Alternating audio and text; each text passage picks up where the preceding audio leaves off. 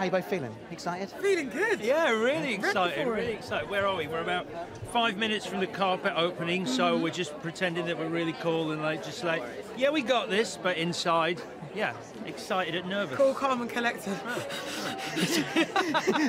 no, we're gonna we're gonna have fun, man. It's, it's, it's the BAFTAs, so it's the EE BAFTAs. Um, we're gonna have a great, we're gonna have a great time. Like, there's been so many amazing films that we've stealthily watched Yep. between us, and yeah, we decided to talk to everybody. Yeah, I think that's the thing. It's great to be here. I mean, every year's good, but this year is so special. Like there is such a good list of films nominated tonight and great performances. And uh, he's uh, beckoning us to interview the There host go. right now, David Tennant. It's Tennant. time. We've gotta go. Sorry. Bye. Go and speak to someone more important, Alex. See you later, mate. Have a good one. Ladies and gentlemen, you're watching Hey You Guys! Hey, you guys! Hey, you guys. hey, that's what they all say. Hey, you guys.